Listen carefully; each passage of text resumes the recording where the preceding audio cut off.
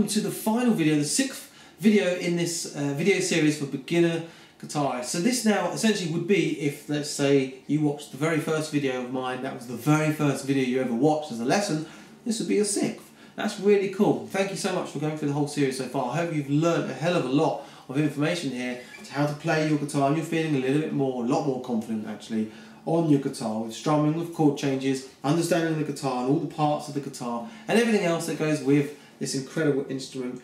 Um, I really hope you have learnt loads in this series. So the final lesson here is, I'm going to show you quickly, in the previous couple of lessons, I think it was in lesson number four, we did some chords. The chords were E minor, if you remember, and G. Right?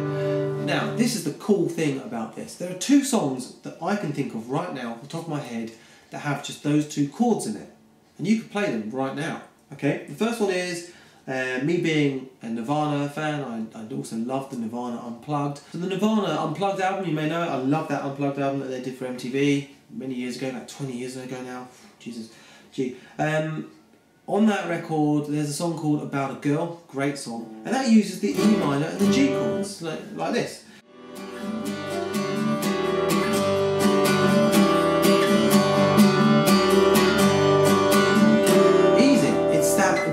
Combination we were doing before, lesson number four, where you just got that those E minor and that G chord. Okay, how cool is that?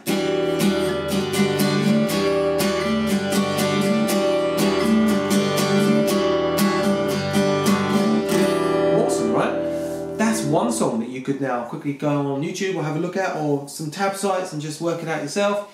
And yeah, off you go. That's a great song to learn, and that's just those two easy chords. Then, and the other one I can think of top of my head is um, Oasis's Songbird. Not one of my most famous songs, to be fair, but it's a nice song nonetheless. It's um, how's it going? Talking to the songbird just today,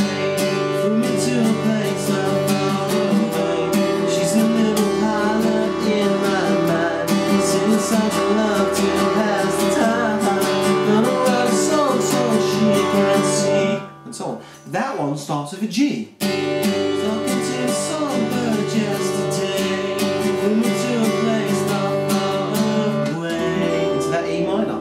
Again, just two chords. Absolutely simple, but you've got a song. So there's two songs that you could definitely check out with those two chords alone, and of course with the other chords, you can learn a whole massive array of songs, or alternatively, you could download my two free ebooks uh, guides. Just link, click on the link below, and I'm going to send you the two free ebooks. They teach you how to play nine of the most incredible open chords that every guitar player needs to know in their repertoire in the first month or two of playing guitar as a beginner guitarist. So please do check out my two free ebooks. I really appreciate the support. Clicking on those having a look. They'll really, really take these lessons into a whole different level, like, a completely different step, a lot deeper training have in those two ebooks that you'll love. Um, so again, thank you so much for checking out this beginner series, the six videos in my beginner series here on YouTube. Really hope you've enjoyed it. Uh, I've certainly enjoyed, love teaching this. Um, this is kind of my area, going from knowing that someone literally bought their guitar yesterday, or have been playing their guitar for a month or two and struggling.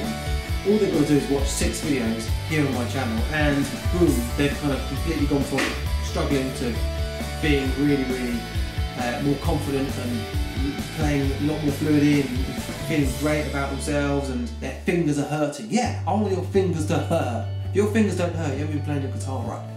Fingers are gonna hurt, right?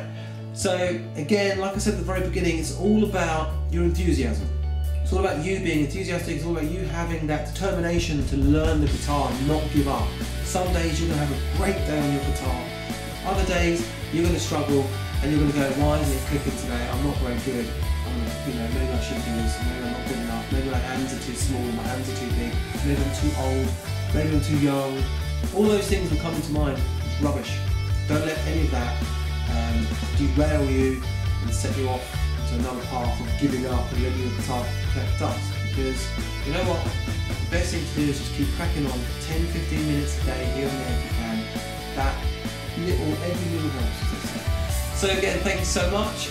Uh, hope you enjoyed it. Do check out all my other videos in my uh, YouTube channel here. Please do also subscribe so you get all of my latest videos coming up.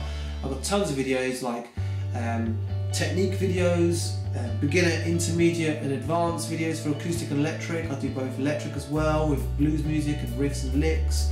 Um, I do a ton of other cool stuff like um, gear reviews, like pedals and what gear you could use and what gear I use, and stuff like that. So, yeah, thank you so much. Hope you enjoyed. Do subscribe to the channel and also do make sure you check out those two free ebook guides that I'm giving away today as well. Thank you so much and I'll see you in the next